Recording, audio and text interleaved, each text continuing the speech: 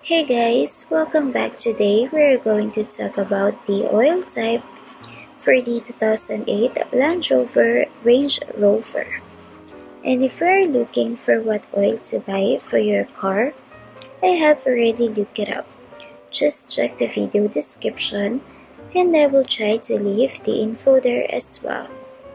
The oil type for the 2008 Land Rover Range Rover is 5W-30 synthetic. This oil type is only the manufacturer's recommended oil type. Keep in mind that the type of oil could change depending on the year and mileage of your car.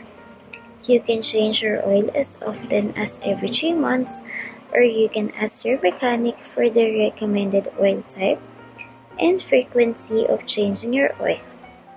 So once again, the oil type for the 2008 Land Rover Range Rover is 5W-30 synthetic.